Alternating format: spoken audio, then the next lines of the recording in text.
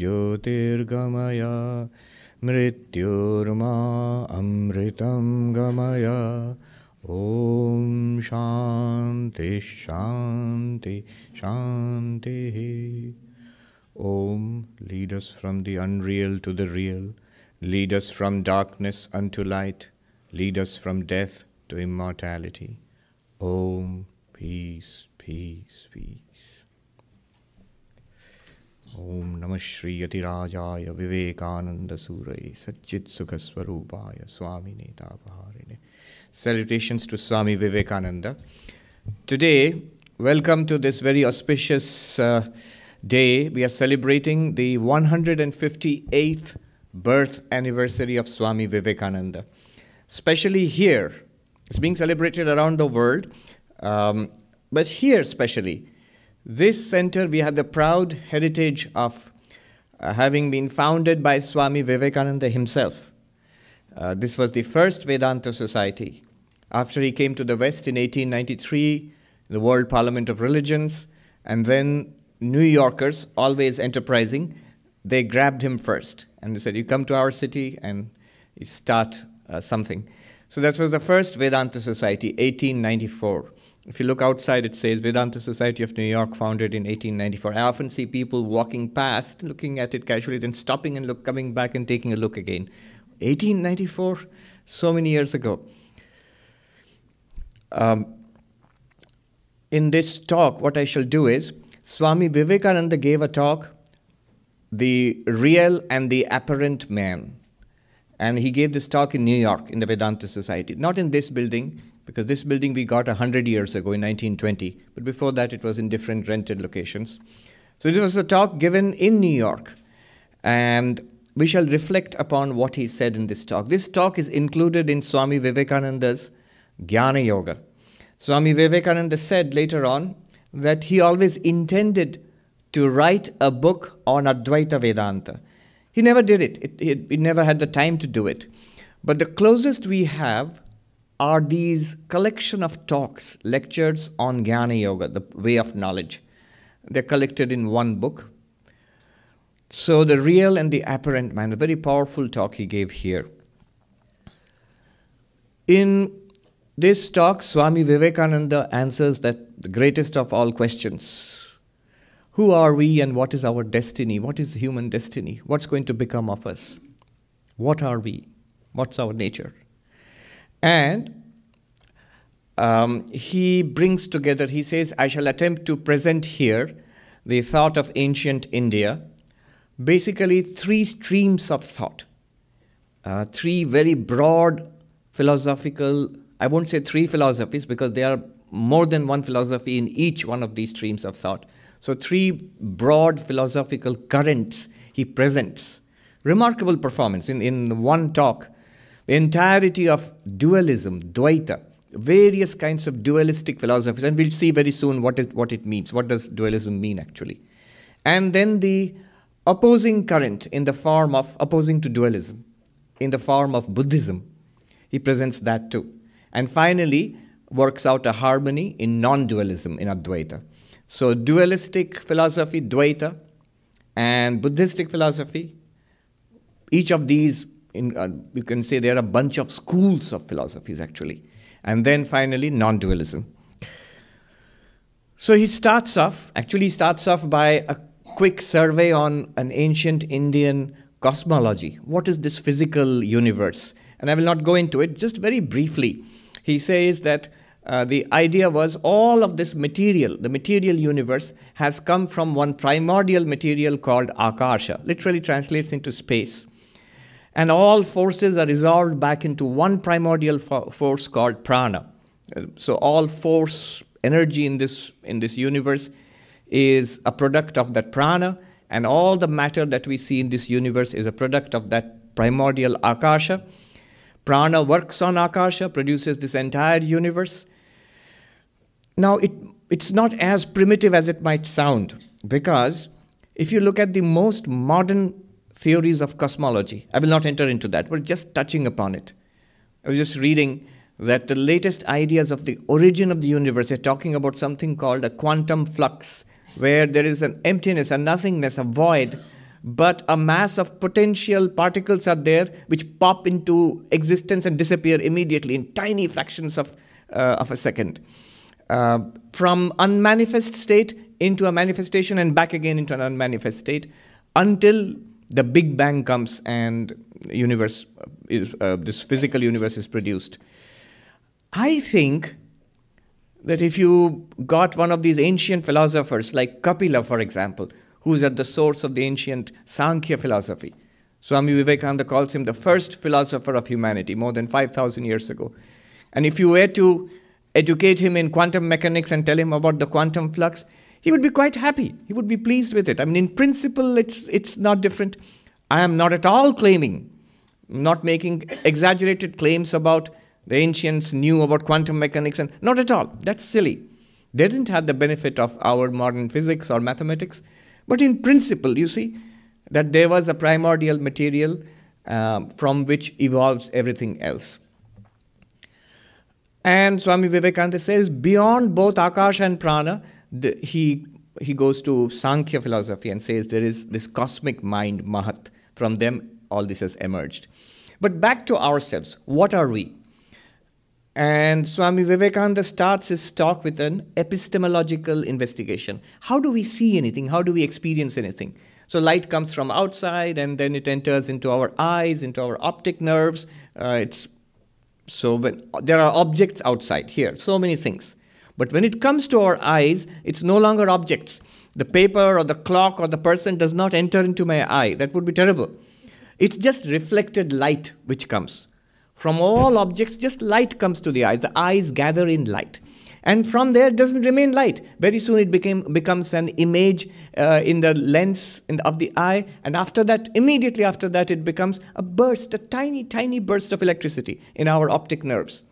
Uh, and that's, that impulse is transmitted down uh, to the brain and in the brain center somehow. Even here, with all our latest science, it ends there. What is happening in the brain center, that's the last thing that we can see in science, nothing more. That's it. But our experience does not end there. We experience everything in the mind. In the, it becomes an, uh, a thought in the mind, a perception in the mind.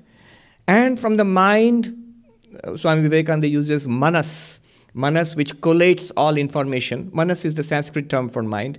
It collects information not only from the eyes, but also the ears and the sense of touch and smell and taste.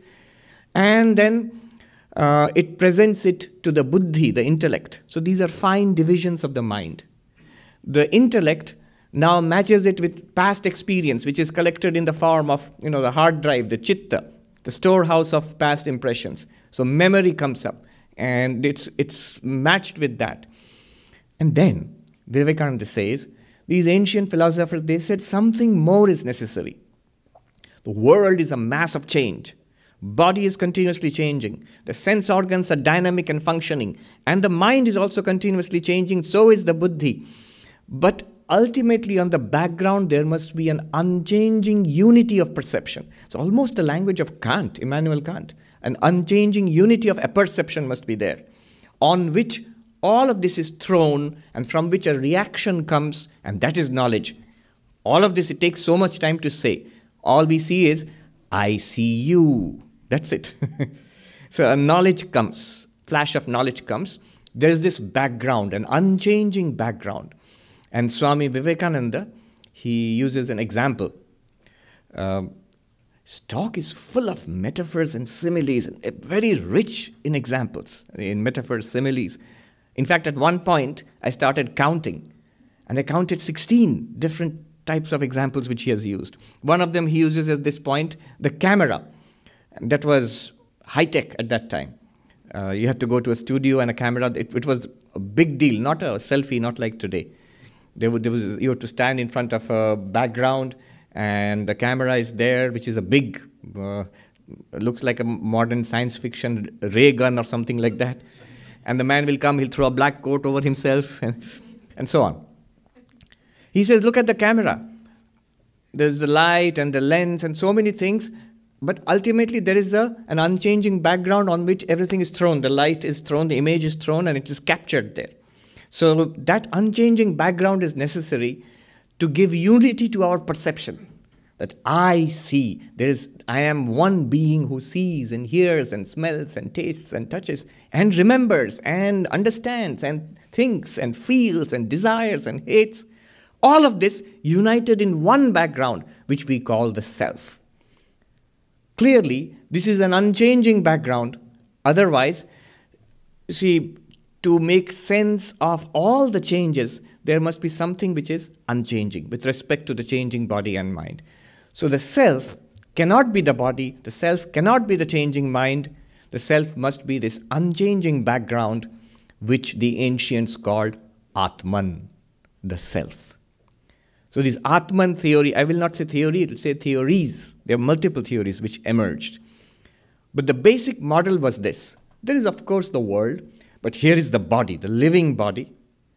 And beyond subtler than the body, inner to the body, is what is called the subtle body, sukshma sharira, subtle body. Nothing peculiar in this. The subtle body we experience also right now. When you feel mm, emotions, when we experience things, when we think and remember, all of this is the subtle body. And so, why isn't it the physical body? Where does the physical body end? Even the most sophisticated instruments at our disposal will end with the functioning of the brain and the nervous system. None of them will reveal to you love or hate or understanding or uh, memory or forgetfulness. Yes, they will reveal what are called the neural correlates of these things, the activities in the brain. And, uh, but it's not exactly the same thing. When you um, taste a cup of tea or coffee, the warmth and the texture and the fragrance and the taste that you feel, you feel that. You don't feel a burst of electricity. Nobody does that. When you see, you see color, you see red, you don't see a burst of electricity. The scientist is seeing the burst of electricity, and you are experiencing the first person experience, which are called qualia. What is the connection between these? That is the cutting edge of thought in modern consciousness studies. That's called the hard problem of consciousness and I can see people rolling their eyes. I'm not going to go into that. One of my favorite subjects, but I'm not going to go into that. So, ultimately, there must be something beyond the physical body, and that the ancients called the subtle body, which we all experience all the time. But something beyond the changing subtle body, also, which these uh, dualistic schools called the self, the Atman. So, self is our real nature. We are actually not this physical body because the self existed before we had a physical body. And the self exists, the Atman exists now that we have a physical body. But one day the physical body will die, and the self continues to exist. Um, I will not go into the arguments, but it's not very difficult to see why they would have thought that. Because when death comes, what is the empirical evidence? The empirical evidence is here was a living body, now it's a dead body. Nobody has the evidence that the self, the Atman, is dead. How do you know? It's only the person who was getting the first person experience within that person is qualified to say yes or no. But if the person says, Yes, I am dead, that means he's not dead. we cannot contact that person because the means of contact have been uh, are dead now because the body is dead. So the ancients evolved this idea if the self cannot die, the subtle body also does not die. The sukshma sharira, thoughts, feelings, emotions, our past experiences, samskars they are called. And these ones, the Atman gathers to itself the subtle body. Physical body is dead. Atman gathers to itself the subtle body and leaves the inhabitable dead body. The body cannot be used anymore. It goes. Why does it go? Where does it go? Why does it have these experiences? So, the great theory of karma, so, why should I believe in karma? Karma is nothing but cause and effect, and everybody believes in cause and effect. Entirety of science is cause and effect. What we call common sense is causality. There are causes and there are consequences. Actions and consequences, causes and effects. Everybody knows this. And even a child, even the, the more intelligent of the animals, they have a sense of causality. If I do this, that will happen. So, causality That applied to our personal life is the law of karma. So, this is something that the ancient Indians believed in, irrespective of schools. All the dualistic schools believed in it, all the Buddhist schools believed in it, all the Jaina schools believed in it. Um, so, and the non dualists also in, in their own special way. Karma is upon the departed soul. Now, look at the words, they make sense. Departed soul. What has departed? Not the physical body, that's gone, dead, buried, burnt, whatever. The departed soul is the Atman plus the subtle body. It's the subtle body which departs from the physical body. And in the dualistic schools, the Atman also departs. Atman is something that comes and goes in the, in the old schools. Where does it go? Depends on karma. Each individual has his or her own karma, and uh, depending on that karma, that person has other experiences. What are the other experiences? So these dualistic schools spoke about three possibilities. So Swami Vivekananda is here just sort of summarizing the thought of these ancients. Three possibilities after death. One is that uh, those who were very spiritual, very devout, devout in what sense? There was also the idea of God. What is God?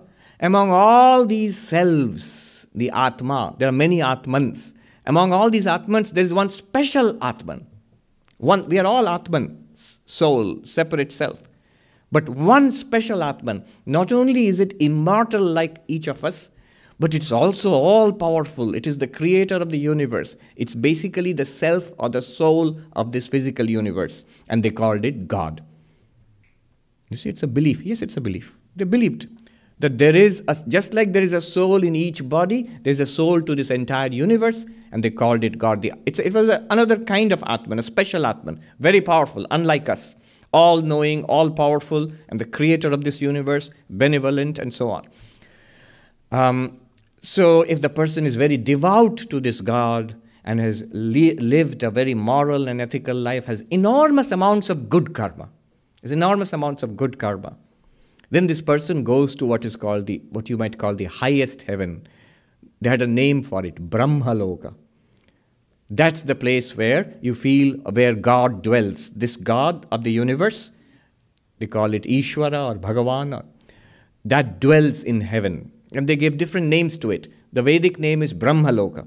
But later on in the Puranic age, this became Kailasha, Vaikuntha, and Devi Loka, and so on.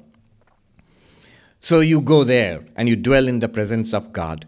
If, if that soul is um, very pure, has no further desires, then when the, this universe will come to an end, that soul gets moksha, liberation, and it does not have to come back to the cycle of births and deaths. Births and deaths. This, um, if there is any, any desire left, that person will again have to come back uh, again to this human form and work out karma. That's the first one. It's a very glorious destiny. So it's only reserved for very good, very spiritual people. Then the next level is those who are devout and good, but they not they have not reached that acme of spiritual perfection. So after death, they go to what is called Pitriloka, the world of the uh, forefathers, the world of the ancestors. So there is a whole range of heavens. Take your pick. Actually, you can't take your pick. It depends on your karma, on, on, your, on your credit, moral credit. So you are placed. You are placed in the uh, what is what you what we deserve. You go there, and these are very pleasant places to spend thousands of years until our good karma is worked out, and our bad karma is upon us again, and we tumble back into this world, and we are reborn as a baby somewhere. Usually, once you get a human birth, so all kinds of births are possible. Physical bodies are of all sorts animals, birds, bees, human beings, everything. But once you get a human birth, you progress further and further. Generally, do not. The third um, option is for the wicked. So, if, if a person is particularly naughty, then you don't get to go to the highest heaven, of course not, not even to the world of the forefathers. One is born as um, uh, animals and birds, uh, plants uh, and work out the evil karma, or even there are lower worlds. Uh, you're, you're born as devils and demons, and you work out the lower karma, bad karma through suffering, and you're back again into the human world. So, this was their cosmology. Whose cosmology? The dualistic uh, schools in ancient India, among whom you can count the Naiyayikas, the Vaisheshikas, the Sankhyans, the Yoga school. Um, Swami Vivekananda said that note the glory of human destiny, the glory of human birth in this whole scheme. Believe in it or not, notice that it says only in the human birth you can generate good karma. So you are all you come. He says this human world was called karma bhumi, the world of karma. So here you come back and work out your salvation. What would be salvation? What would salvation be like? One gets freedom from this cycle of birth and death. You, the ever perfect self, the Atman, you are limited, constricted as it were, put in a straitjacket as it were. What is the straitjacket? There are two of them one is the subtle body, and one is the physical body. And shuttled from one lunatic asylum to the other. So, this is what's happening to us. And freedom from this cycle of birth and death is the goal of life, so that you remain as the self, unrestricted. Uh, in fact,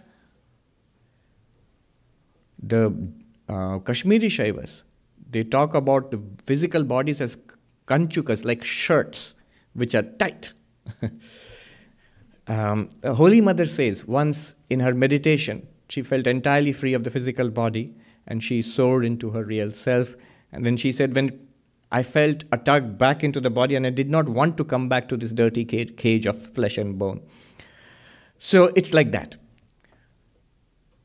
Um, and freedom from it is remaining in your real self. What is the nature of this Atman, this self? We know what is the nature of the body here. We know what's the nature of the subtle body. We know thoughts, feelings, emotions, like that. What's the nature of the Atman? different theories. The Nyaya Vaisheshika school said it was like a substance, a dravya, not conscious in itself, but when it comes into contact with the mind, you experience awareness and thoughts, feelings, emotions. The Sankhya school said, no, no, no, the self is conscious. It is consciousness itself. Its very nature is consciousness, awareness.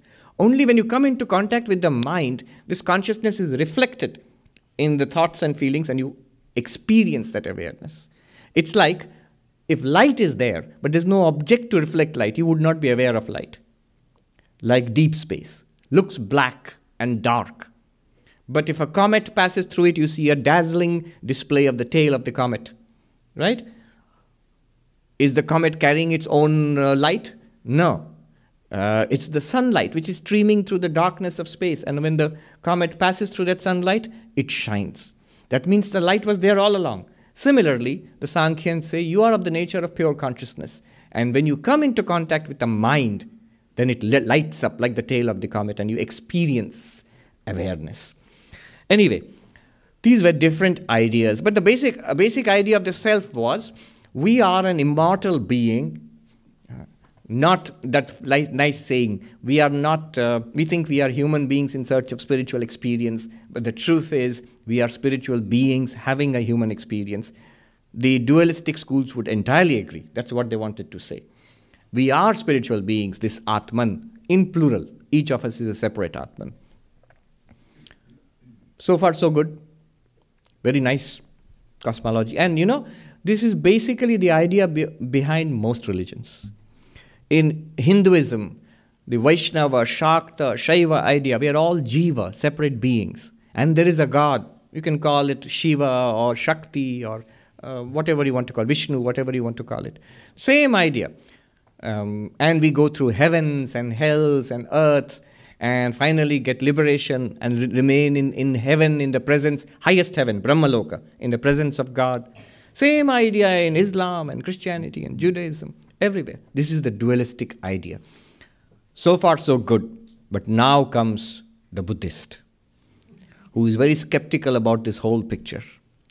The Buddhist asks, Where is this precious Atman of yours? Where is this great God of yours? We experience a changing body. Here's the body changing. Nobody doubts that. We experience the world and the body, which is a mass of change. We even experience the mind, which is a mass of change.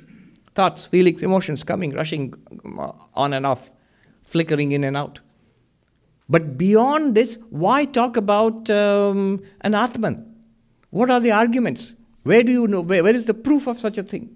That there is a body and a mind and an Atman, a third entity. Where is the proof of such a thing? No, no, there must be a unity, a changelessness behind all the change. Otherwise, how would you have? They attack, the Buddhists attack this. Why does it have to be a changeless entity? A relatively changeless entity can um, uh, serve as much, you know, like the mind is changing very fast, and related to that, there is a, another part of the mind which does not change so much. And that one can cognize this one. So there are a lot of arguments started. Tremendous philosophers came up and they had this idea of not self. Self theory versus not self theory. Atma theory versus Anatma theory. Great philosophers. Uh, about 500 years after the Buddha, um, Nagarjuna, Vasubandhu,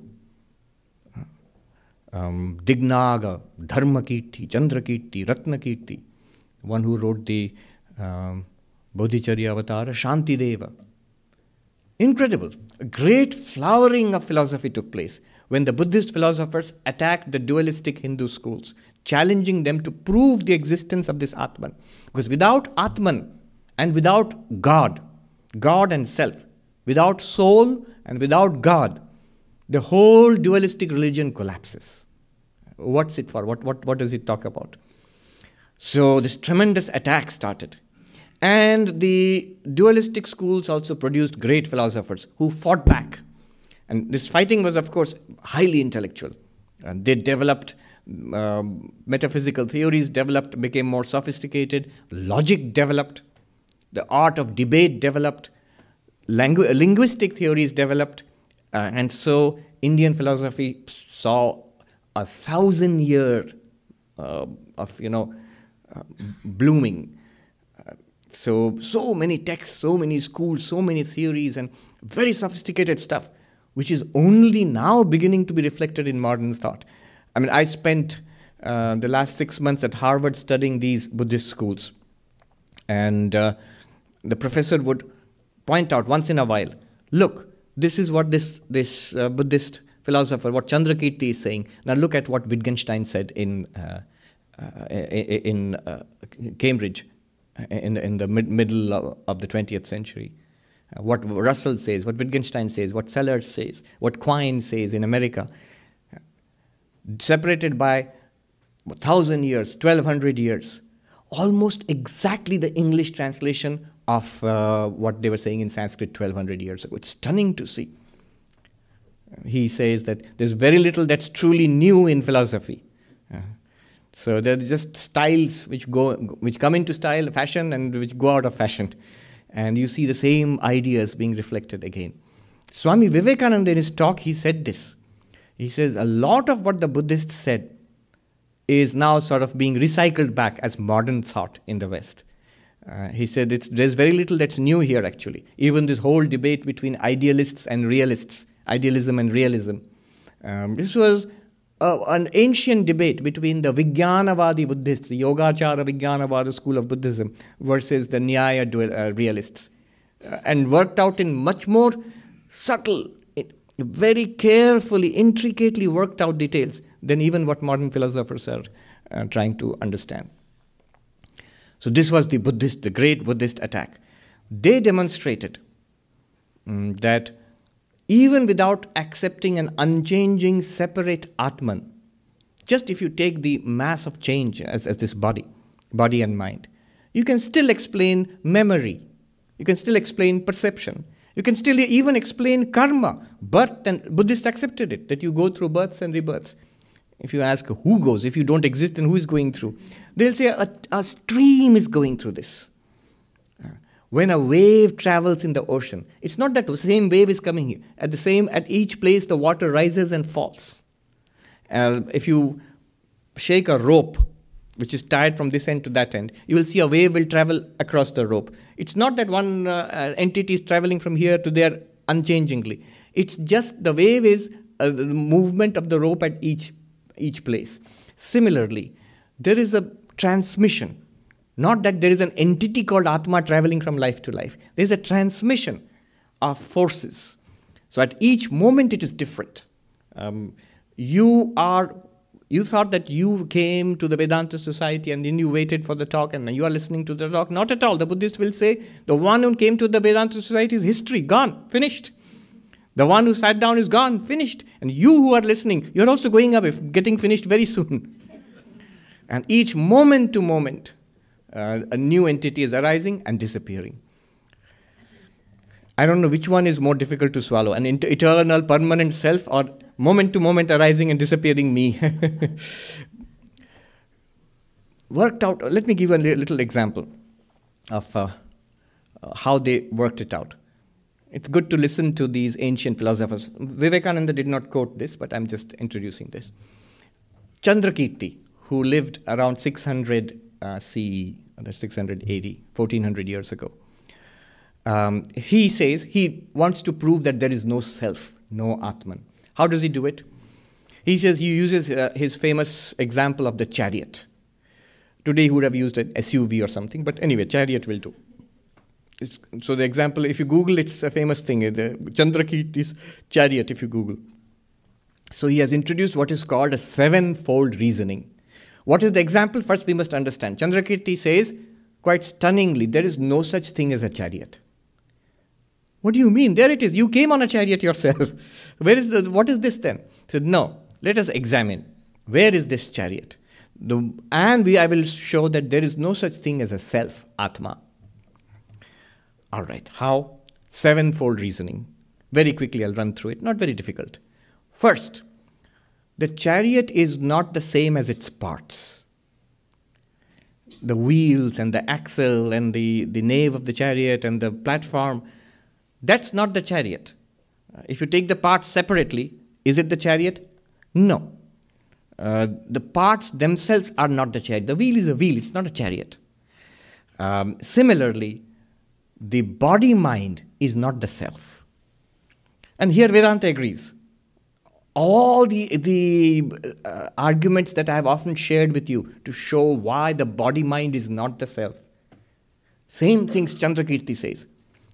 300, 200 years, 300 years before Shankaracharya. Why is the body mind not the self?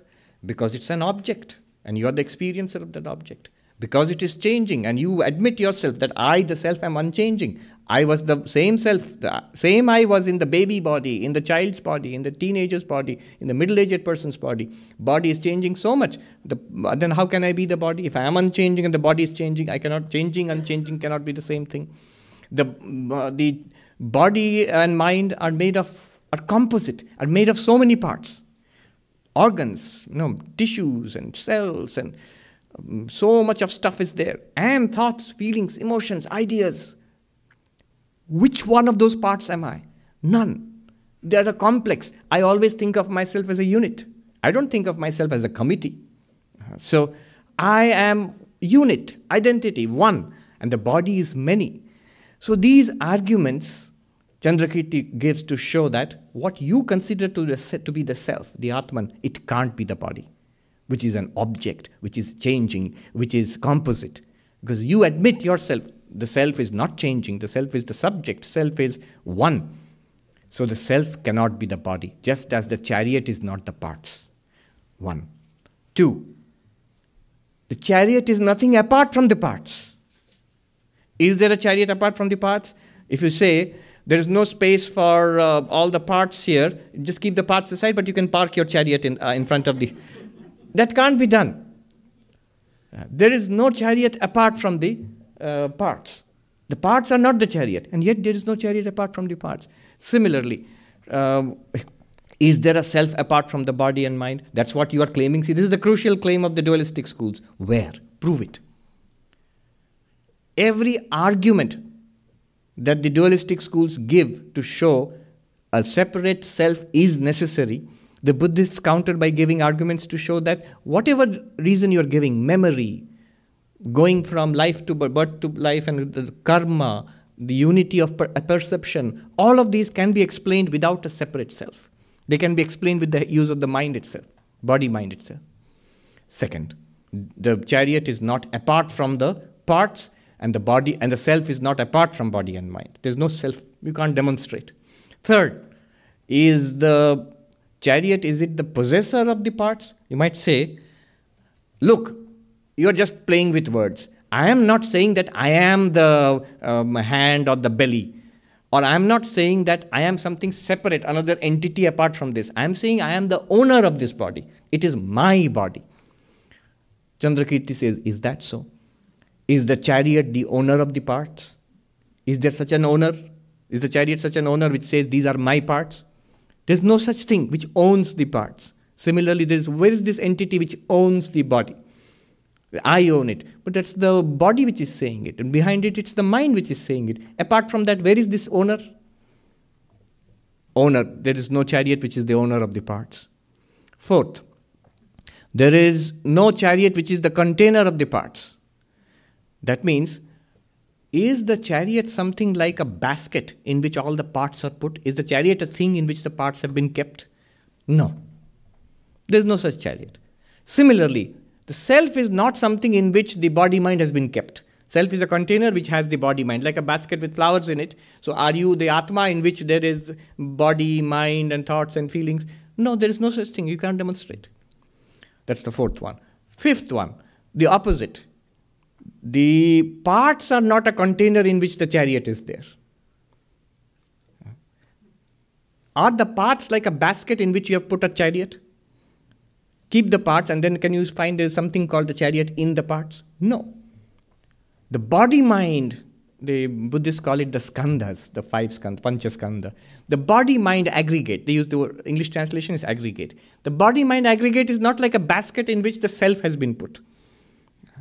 So the parts, the self does not contain the uh, body mind, the body mind does not contain the self. Is the body mind like a basket in which the self is put? It's like I'm, what I'm asking is here is the body mind in which you can find a liver or a kidney. Can you find a self? Is it taught in physiology class? Here is the body, here is the liver and kidney and all of that. And then there is one more self located just between the two kidneys or something like that. No, you can't find that. But we say that it is in the atma, in the heart, and well, which, which cardiologist will say, I've discovered the self? No, Open heart surgery, you have to be careful not to touch the self. You have to cut the heart, don't cut the self. No, it is not an entity contained in the body mind. Similar, just as the chariot is not an entity contained in the parts of the chariot. That's five.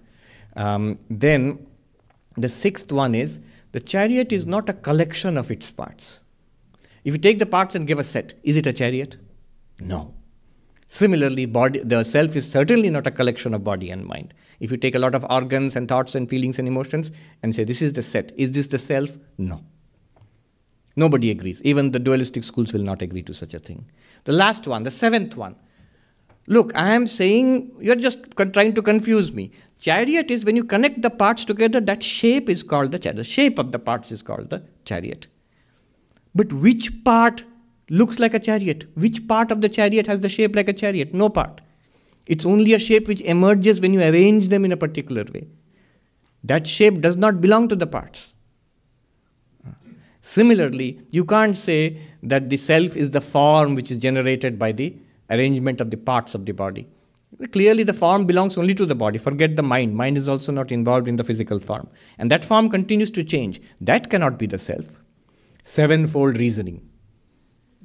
Sevenfold reasoning. There is no Atma. The body and mind are not the Atma.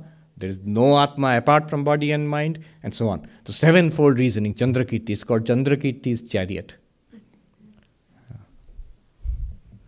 Notice one thing is missing in this chariot. If you look at the Kathopanishad chariot, there's the same chariot, but the passenger is there.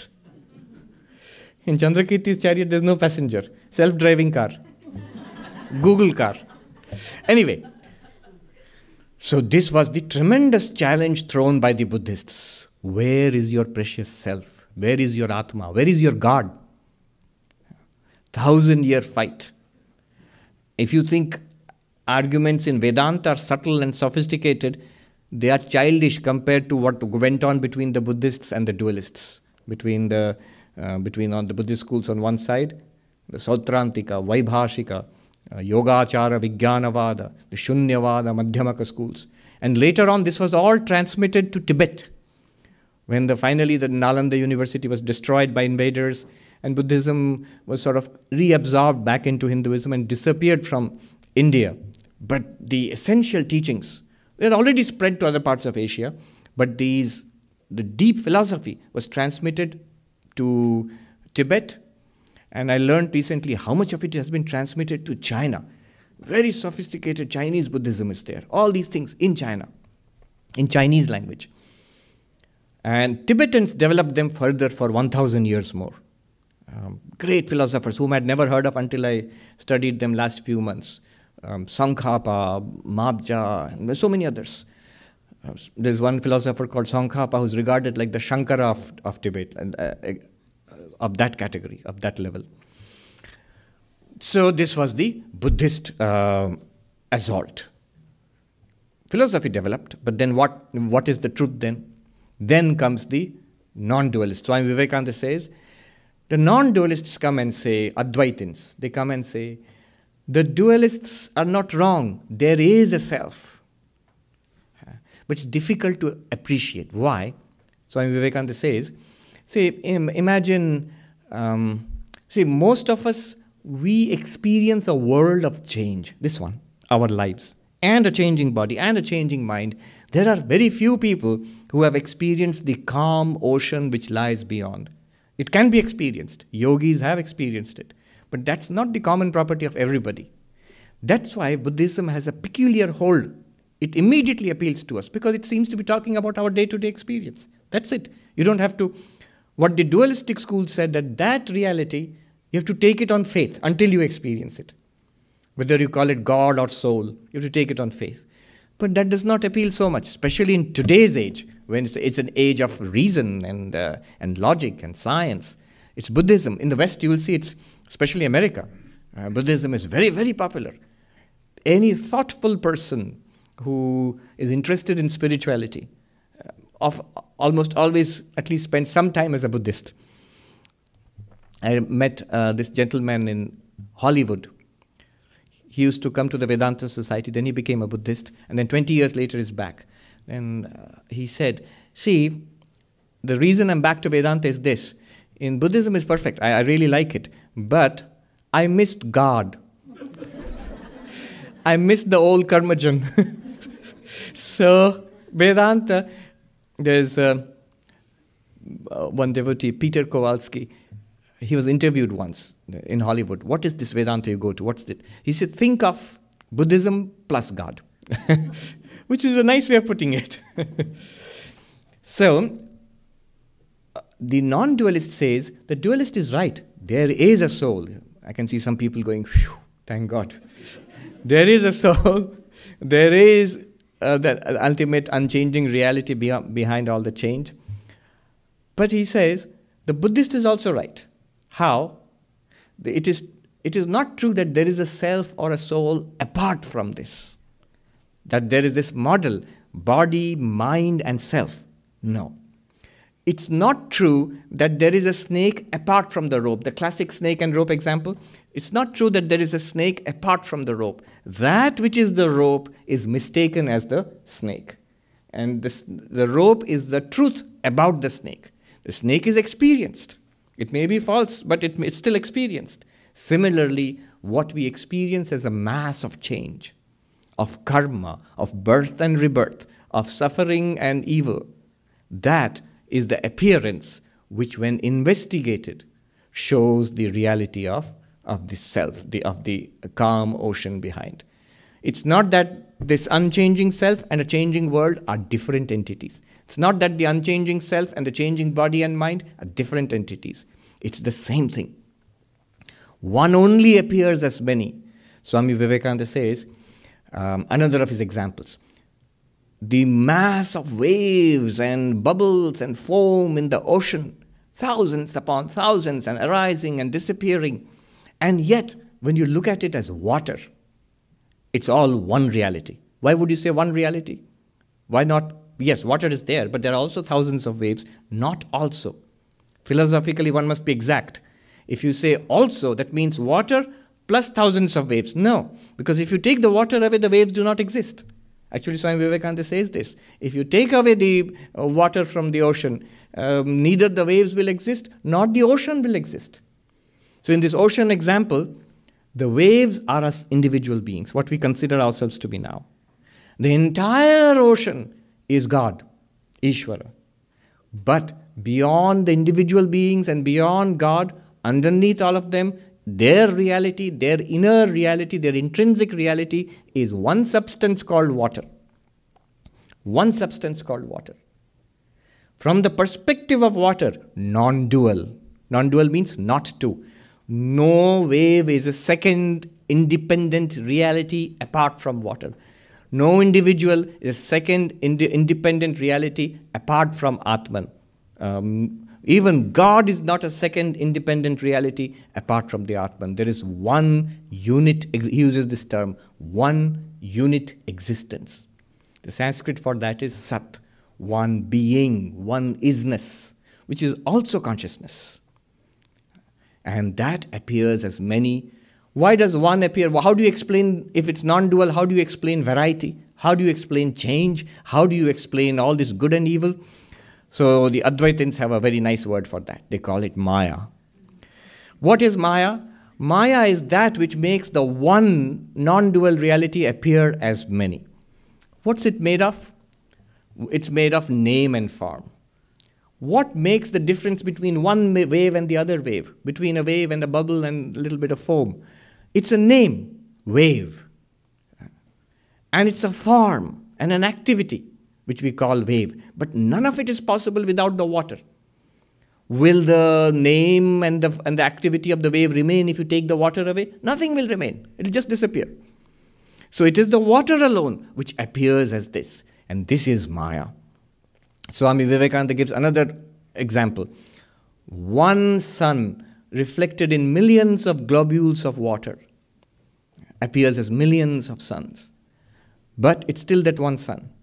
The globules of water are like name and form. He says one existence reflected in millions of globules of na- name and form appear as millions of beings. How can existence be reflected? It just means that existence is borrowed. How can existence be borrowed? It's nothing very complicated. It just in the sense that the wave borrows its existence from the water. Without water, no existence of wave. Without that one unit existence, Sat, being, or Brahman, we do not have our existence. All of us are that one reality. We are one as Brahman. So, wait a minute, but you introduced Maya. Sat, Brahman existence are one thing I understand. Atma, Sat, Brahman existence, fine. But you introduced Maya. So, there are two things. And Swami Vivekananda says, Maya does not exist by itself. It's not a second existence apart from um, the uh, from from Brahman. Just as the name and form of the wave are not a second existence apart from water. It's not that there is water and there's something called name and form, and you take them and put it here and you get a wave. No, because if you take name and form away from water, nothing. They disappear. So Maya does not exist by itself. It's not a second independent existence. Therefore, you cannot charge uh, us with duality, that the two things, Brahman plus Maya. No. It has no existence of its own. It's an appearance. Maya is also an appearance, and all the products of Maya are an appearance. The world and action and birth and rebirth and individual beings, all an appearance. Um, but it's not that it does not exist. Swami Vivekananda is clear on this point. It's not that Maya does not exist. Why? Seeing, this is his exact words, seeing that it makes all this difference. All of our life is possible because of Maya. All happiness and misery and all Vedanta is possible because of Maya. And all of this is possible because of Maya only. So, because it makes all this difference, between, because we experience the reality as, as in this way, therefore we cannot say Maya does not exist. We cannot say Maya does exist also in the same way as Brahman. So this is called in Sanskrit anirvachanya, sad asad bhyam anirvachanya. What does it mean? Inexpressible as existing or as non existing. This curious in between twilight state. Uh, this is Maya. I was reading uh, some reminiscences, beautiful reminiscences written by Swami Chetananandaji uh, about Swami uh, Jagadananda.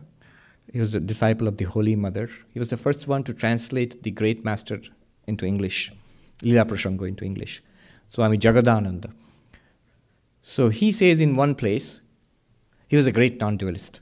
He says, you know, the secret of non dualism is this Maya, cause and effect, appearance, multiplicity, all of these are just explanation. They are stories we tell the ignorant, the seeker, so that you have something to hold on to until you realize Brahman. Once you realize Brahman, all these are to be dispensed with.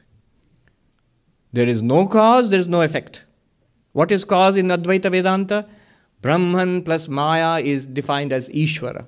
Ishvara is God. So God is Brahman plus Maya. The pure being with the power of Maya is the cause. Cause of what? Cause of this universe. All this material universe, all living beings, the Jiva, all of us. Cause and effect. Cause is Ishvara, effect is this universe. Underneath both is Brahman, the Absolute. But the reality is neither cause nor effect are real. Uh, it is just an explanatory mecha- mechanism. Don't take it too seriously. Take only one thing seriously that is Brahman. Then what becomes of all of this? You explained the dualist talked about uh, birth and death and karma and heaven, going to Brahmaloka and Pitriloka, the different worlds being born as animals and birds and human beings and going life after life, all fairy tales. So Vivekananda says they are all children's tales that we tell each other. But he says, be very careful. The modern materialist will say, but that's what we are saying. All those heaven, hell, God, all that is fantasy. It's just uh, superstition. It's just fairy tales. Vivekananda says that's one big mistake that the moderns make we consider all of this to be mythology except this life. What Advaita Vedanta is saying is that this life too is a mythology. All of it is mythology. He says, It is all you, my Lord, or all I. But this division between I and you, this duality is Maya. All that ap- appears is I, the self. Or, if, you, if that's too much, then all that appears is you, my Lord. That also is possible. That's the devotee's attitude. Both are spiritual attitudes. But I and you, this separation, this is samsara. We are one with the God of the universe, Swami Vivekananda says. Aham Brahmasmi. This is the solution of the non dualist. Then the question arises all that's good to say. How can God commit sins? How can God do bad things? There's so much evil. The problem of evil and sin comes up. Swami Vivekananda is especially hard on this. He says, um, we see sin only when there's sin within us. And then he gives this cute example of the baby who's in a room and there's a bag of gold there, and a thief, robber comes and steals the bag of gold. But for the baby, it's neither gold nor a robber. There is nothing particularly precious about the gold. There is nothing sinful about that person who's called a robber. No, there is no sin in the heart of the baby because of innocence, not because of Vedanta. And there is no sin in the heart of the enlightened person. Vivekananda says that it is a sin to call man a sinner. He says there that that man alone is a sinner who sees sin in others. You can imagine the devastating impact it would have had in 19th century America at that time. People were stunned, but it gave them a new way of looking at religion and spirituality. Uh, so, um, what happens to these heavens and hells? He says these are like dreams or hallucinations we see. When the mind is colored by wickedness, this reality itself appears to be hell. When the mind is colored by goodness, this reality itself appears to be Pitriloka or Brahmaloka, the, um, the world of Brahman or the world of the ancestors. And then when this mind becomes enlightened, it is all Brahman. God alone exists. So, this is the idea of Advaita Vedanta. Advaita Vedanta, what it does is divides into two levels ultimate truth, Paramarthika, where Brahman alone exists, and a Vyavaharika, transactional level of truth, where all this, where even dualism is accepted as true. So, this is the great um, conclusion. Um, what, what is the result of this knowledge? What is the result of this knowledge? Swami Vivekananda says that the result is all fear will go away. Whom to be afraid of? Who can harm me? I am immortal. Who can harm me? There is no second being apart from me. Um, what can what do I need in this world? All desire will disappear for this for things of the world because I am all beings. All beings are appearances in me. All heavens and hells will cease. All desire will cease. All action prompted by desire will cease, and therefore the results of actions also will cease. With, with the disappearance of karma, life and death also disappear, and one radiant unity alone exists. That one radiant unity, that Brahman, is the real man, the real person. Apparent and real. So Swami Vivekananda says the reality is that. So that is the reality spoken of by Advaita Vedanta. Um, I remember there was this great philosopher in late 19th, early 20th century in, in Cambridge, um, F.H. Bradley. So there was a, a period of idealism in British philosophy up to the late 19th century, early 20th century, before it was replaced by positivism and other things. So Bradley was one of the elder contemporaries of Moore and Russell. And he wrote this book, a classic called Appearance and Reality, which is very Vedantic. And we had it in our library. I remember when I was a novice about 20, 20 years ago in the Belur Math library, an old copy with little holes made by insects. But when I started reading it, I found it's amazing. Uh, it just the it is two parts: appearance and reality. So first part is appearance. And the way he argues to show that what we experience in the world, it must be an appearance. It can't be real in itself. It's so Vedantic. And I remember we used to have this professor who would come and teach us, Nirodvaran Chakravarti. who's a retired professor of philosophy in, I think, uh, Jadavpur University. He was a disciple of Swami Abhedananda.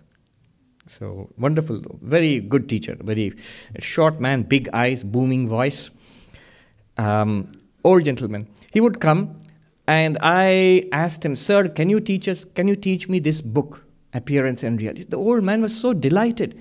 Said, Maharaj, I was not yet a monk, brahmachari. So, Maharaj, you want to read this? Um, nobody reads, wants to read these books today. Nobody wants to read these things today. I will certainly teach you. And the old man, he gave up something very, very, very valuable for Indians, the afternoon siesta. He used to come to our monastery and he would rest in the afternoon, and then afterwards he would give, teach us philosophy.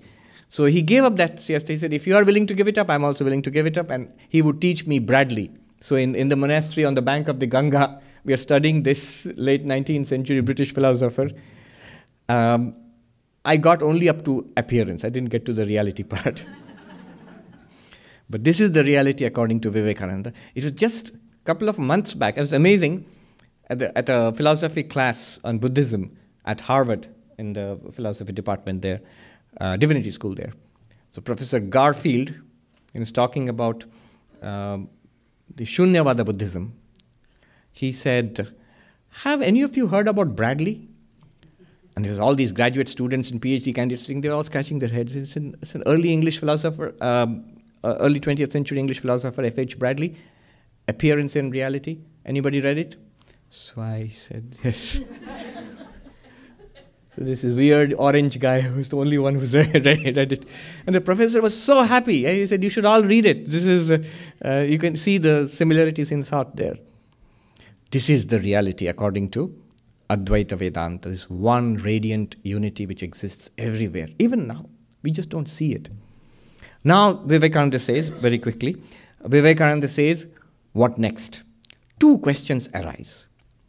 One question is can we experience this? By the way, he gives other nice examples in between, so many examples and metaphors and similes. He says, all this change, this change is like um, you're reading a book, page after page of the book of life turns and chapter after chapter turns, but you are not changing. You are, you're the same person who's reading. It's the book which is changing. Then he gives an example of the train, railway. And he's, he traveled across this country by train. So he says the fields, they seem to be moving, but it's actually it's a train which is moving, not the fields. And one more, the sun and the earth. So when you stand and look, it seems the sun is rising and uh, circling across the earth and, and setting in the west, but it is the earth's motion which is we falsely ascribe to the sun. Um, but the fact is, if we knew, we would know that it's not the uh, sun which is moving, but it's the earth which is moving.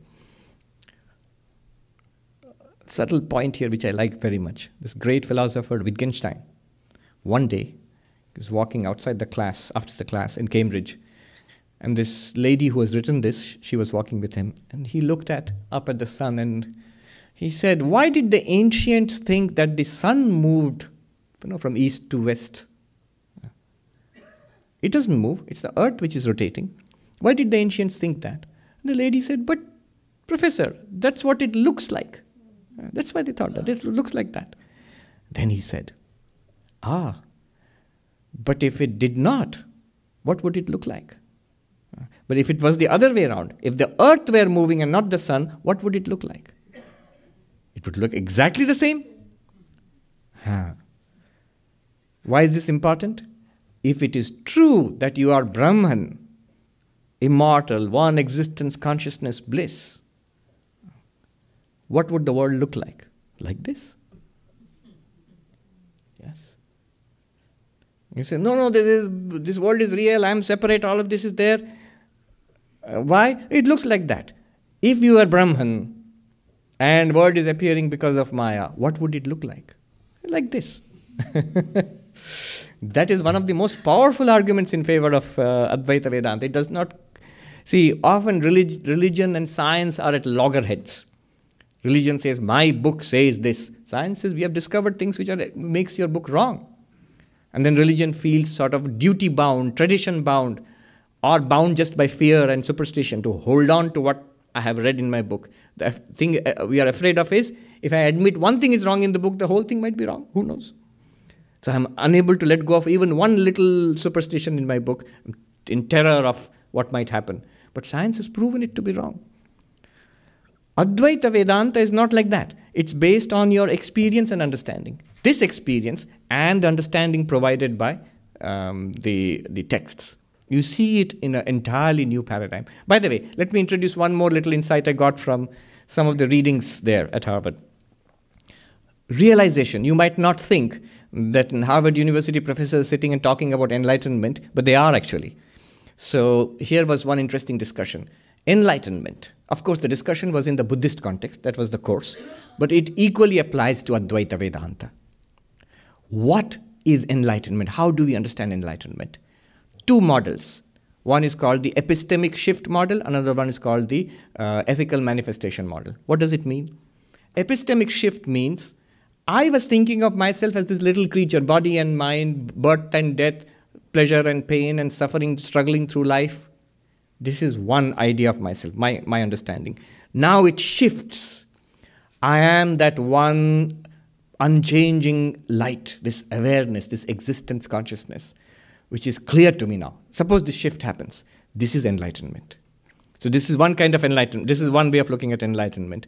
An epistemic shift. Epistemic means knowledge, a change in our paradigm about ourselves. What we thought about ourselves has undergone a, a, a revolutionary shift, sudden shift, and permanent. It comes in a flash, but it remains stable. Just like our idea of ourselves right now is stable. I am a body mind stable. But once the shift happens, that also is stable. That I am this witness consciousness, this awareness, this existence consciousness place. This is one way of understanding enlightenment, epistemic shift model. The second way of understanding enlightenment is, again, it was in the Buddhist context, this idea of the Buddha nature, which is within, within all of us, manifesting that love and unselfishness and overcoming desire and serenity and peace and joy, um, compassion for all beings, what we would regard a great saint as having. The manifestation of those qualities, divine qualities in life. This is called the ethical manifestation model. Now, what Vivekananda is saying, so up to this much was the paper which we discussed, but Vivekananda is saying both of these are enlightenment. His beautiful definition. Religion is the manifestation of the divinity already within us. Now look at that. We, we memorize this, it's a very simple definition. How profound it is. Hmm. It there is an ethic, epistemic shift. I am Brahman. Not I am body mind. I am Brahman. Not I am mortal. I am immortal. Not I am flesh and blood. I am awareness. Not I am changing moment to moment. I am the unchangeable reality. Not I am going around in the world with a begging bowl, give me happiness, give me a little praise, give me a little fulfillment. No. I am the source of all peace and fulfillment. It all it's mine. It's coming back from to me from the world. So that's the epistemic shift. And the other side, Swami Vivekananda says manifestation. It must be reflected in my thought, in my words, in my deeds. Swami Vivekananda says, for such a person, such a person, the thoughts, the thoughts will be automatically good. The words of such a person will be blessings. The actions of such a person will be blessings. In fact, this person will be a living blessing for, for everybody around. This is the, this is the ethical manifestation model. So both this is this is enlightenment. I know I am Brahman and also able to manifest it in my life. So what a very very beautiful insight. This is why Vivekananda asks, so what will happen after this? Question. We are all eager. To, oh, now I've understood. Uh, Brahma Jnana, enlightenment, God realization. And next, next, what will happen next? Far ahead, but anyway, what will happen next? one of the professors used to ask this question. So Vivekananda says there are two great questions. One is, is it practical? Is it possible to realize this? Second, what will happen after this? So, very quickly, um, one of the professors asked this question. He's fond of asking this question at, uh, at Harvard. How many people get enlightenment? Very few. So, is it worth pursuing? How many? Even optimistic figure. How many will get enlightenment? Why should we pursue this very rare case? So he asked me. I gave him two answers, and then he gave me a beautiful third answer. So I'll give you all three. The first answer, which I give, usually give, is that all of us will get enlightenment. Only it may take many lifetimes. Since you are Brahman, according to Advaita Vedanta, what can stop you? It is your greatest birthright. It is very natural that you will, uh, one day or the other, we will all realize our real nature, that we are one with God. That all of this is the manifestation of Brahman. It is Brahman. We will realize it. So that's one. We all will get enlightenment, not, not one. But who knows? Sri Ramakrishna used to say in Banaras, in, in Kashi, which is the place of Annapurna, divine motherhood gives food, all will be fed. Nobody will go hungry. Nobody will go hungry. But some get food in the morning, some in the afternoon. Don't worry, everybody will get food in the afternoon. But some will get food in the afternoon, some will have to wait till sunset, uh, till evening. But they will all get food. What does it mean? All will get liberation. Some here itself some at the end of their lives, some maybe next life, some at the end of the universe, at the end of the cosmic cycle. That's evening. That's God's evening. all the ones who are remaining, all right, free, on sale now, before, every, before I shut down the shop for this time. So that's one answer. The second answer I gave was once you have understood what spiritual life is, what else will you do? What else will you do except pursue enlightenment? Maybe you will not get enlightenment. What, what else will you do except pursue this? What else is worthwhile? Everything else in life will go on, but this will become your central pursuit. Uh, what else is worth doing? Then he said, Those are good answers, Swami, but they're sort of ultimate, abstract, philosophical answers. Let me give you a practical answer. Why one should pursue enlightenment? I said, What is that? He said, Once you start, whether you get enlightenment or not, day to day, the benefits that flow, the peace and the joy and the sense of security uh, and strength, sense of protection, it slowly becomes the most valuable thing in your life. Whether enlightenment is there or not, we don't know, but you can never let go of it anymore. I like that answer. That's a very practical answer. And for most people, that's, that's how we are continuing actually. So, what happens? Is it practical? Yes. Swami Vivekananda said, in fact, in that lecture, he said, by the touch of such, such extraordinary persons exist who have realized it. And in fact, I met one such person, and by his touch, my entire life was transformed. I will tell you about him next Sunday, he said in that talk, which means he must have talked about Sri Ramakrishna in the next Sunday lecture, he says. I will tell you about him next, I will speak about him next Sunday, he says. Um, now, what will happen after enlightenment? Swami Vivekananda gives two examples. I'll give those and I will stop then. The two examples are one, the example of two wheels which are going and connected by a pole. They're rolling along. And you take an axe and cut the pole. And one wheel stops, the other goes on rolling for a while and then falls.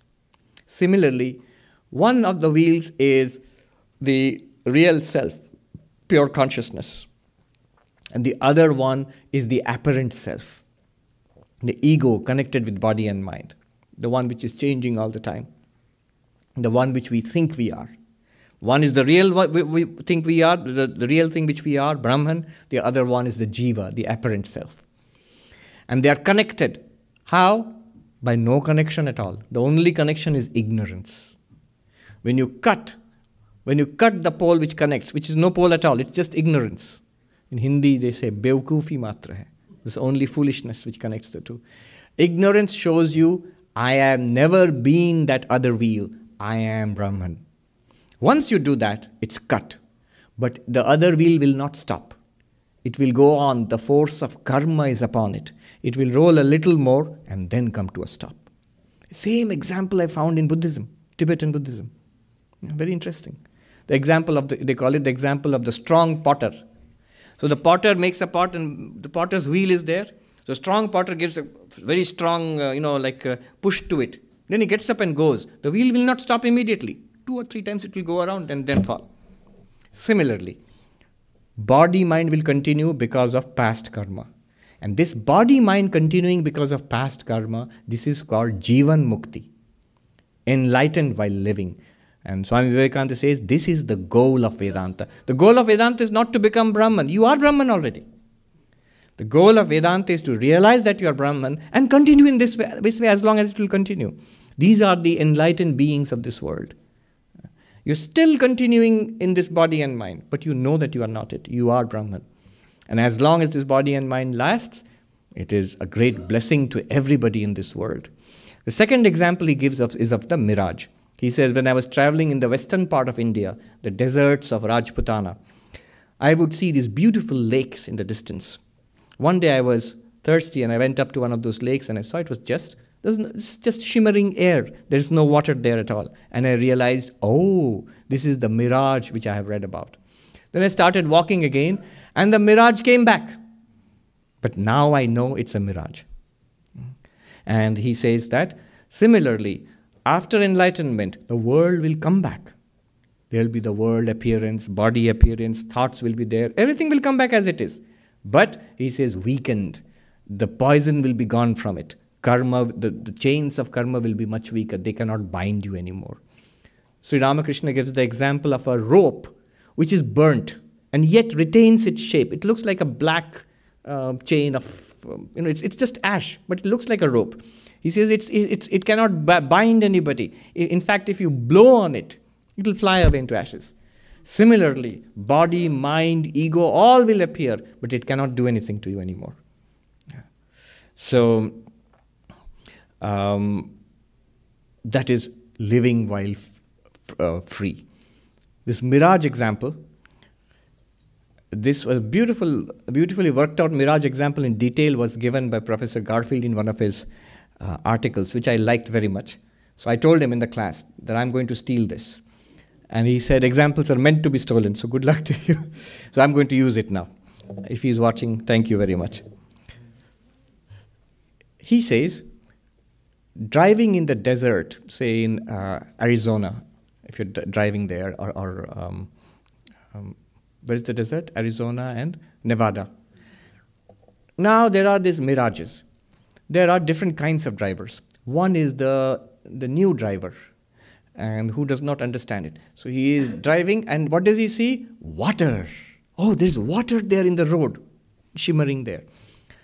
And it has to be explained to him that it's not what it looks like that, it's a, it's a mirage. We, the ignorant people, are like that. we think here is the world, here. It's like a mirage, but it's actually, we think, take it to be the real. There's a second type of driver who is the one who wears polarized. This is his addition to the uh, example. He says he wears polarized glasses. Now, they didn't have polarized glasses in Buddha's time or Shankara's time. So he wears polarized glasses. In fact, it seems if you wear those glasses, you cannot see the illusion also. So polarized glasses are there. Uh, you can see everything, but you will not see the illusion, the mirage you will not see. So you'll see neither water nor mirage, nothing. He just says, What? What are you talking about? Nothing. That is like the yogi who is in Nirvikalpa Samadhi. What world? Body, mind world, nothing is there. so you're Im- immersed in Samadhi, world disappears. Nothing is seen. You remain as the Atman. That's the yogic approach. Second. Third one is the person who has read about a mirage, who has understood. Driving along, he sees water. Oh, water. Then he remembers no, no, no. Mirage. This is how it's happening. It looks like water. He thought it was water. And now it still looks like water, but he knows the theory behind it. Who is that? Professor. who has read about it and who has understood it, that it is Brahman. Because of name and form, it all appears as good and bad human beings and all of these. Appearing like that, affecting me, I know the theory. But practically, it's not working. It still looks like that, looks like a real world for me. Not only world looks real, body looks real and feels real to me. Mind feels real to me. Desires and frustrations and unhappiness. I know these are all appearances in, in one radiant awareness, but still feels real and hurts. I know the theory, but it looks like this. He says this is the level of the professor of the seeker. We are understanding all of this, but we, when we come into contact with life, when we see the thing, we don't see mirage, we say water. And then we remember and understand the theory, mirage. Still helpful, good. We now begin to understand what it is. And the last one is the enlightened being, who sees, who does not even see the water. He sees, but he sees mirage. It is so practiced, so natural, he sees that here is an appearance. Here is Maya doing its job that sadhu who came to Dakshineshwar and who would sit in his room and meditate all day long. Once in a while, he would come out and clap and dance with joy. Wah, kya Maya, what Maya this is. The sky and the Ganga and the river and the, and the, and the temple. It's all Brahman, but it's appearing like this. Wonderful Maya, wonderful. Expert, expert driver. He does not say, here is the river, but it actually name and form river. Really, it is Let me read. Chapter this one, says, okay, this one is like this. No. For him, automatically, here is Brahman, but it appears like a river. What Maya? How beautiful, wonderful. And then would go back to his room and meditate again. So that is the level of the expert driver. We are now at the level, most of us, we are at the level of the, the driver who has read the book about the mirage. Now we're driving, but we're experiencing it again and again, getting problems. But afterwards, enlightenment is we will still see the same thing, but we know it to, to be an appearance and Maya. What happens then? What good is it? Swami Vivekananda gives another of his beautiful examples. What good is it if you ask? He says, first of all, why should it be any good? Truth is good for its own sake. We should know the truth for its own sake. He gives the example of a baby. If you, for the baby, the candies are the most important thing. A little child. And if you teach the baby about electricity, which was latest technology at that time, because Swami Vivekananda had uh, met um, Tesla, I think he had met Edison too, but I'm not sure. Swami Abhedananda had met Edison. Edison took him to, to his uh, lab. There's a uh, description. Edison gave him one of the first gramophones too, which is there in Calcutta in the monastery now. Some say it still plays. So he had, he had learned about electricity, so he would use that ex- latest example. Nowadays, no, but no doubt he would talk about iPhones and um, all these things today if he had used that example. He says, if we try to explain about electricity to a child, the child will say, What good is it? Will it give me a candy? yeah. We are like that. We are like that. I have no time to dilate upon this, but think about it. When I, I, I notice it, I mentioned it at the divinity school also. Here we are studying religion. But the entirety is, a, is what good will religion do to us? Will it solve um, how to use religion to solve global warming? How to use religion, redefine religion to fit with LGBTQ? How to use religion to um, you know implement it in politics, the, the my liking? All these are will it give me candy? If it doesn't, it's no good. I'm not saying I'm, uh, I'm against this. This has to be done. Religion has to be useful to us in our society, in our day and time, uh, uh, our time. What is our problem? It, religion should be able to help us to solve it, no doubt. But this is the secondary, the byproduct, the side benefits. The real benefit is what Buddha said solving suffering at the deepest possible level. So Swami Vivekananda says it does good, it does the greatest good. This is love the highest of things. He says, He alone loves who sees God in all beings. That person alone loves who sees God in friend and foe. The husband loves the wife the more by seeing God in the wife. The wife loves the husband more by seeing God in the husband. The parents love, Swami Vivekananda's words. Parents love the children the more, seeing God in the children.